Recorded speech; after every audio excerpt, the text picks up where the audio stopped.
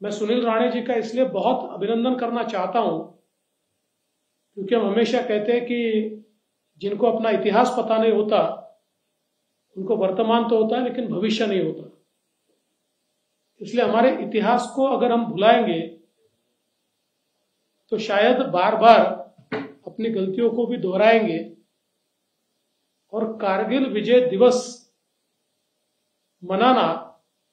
एक प्रकार से हमारे इतिहास का पुनरावलोकन करना, हमारे इतिहास को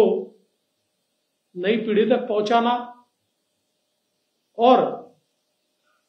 हमारे शौर्य को भी याद करना और शायद कुछ गलतियाँ भी हुई तो उनसे भी सीख लेना। इसलिए मैं मानता हूँ कि इस प्रकार के हमारे इतिहास को बार बार याद किया जाना चाहिए।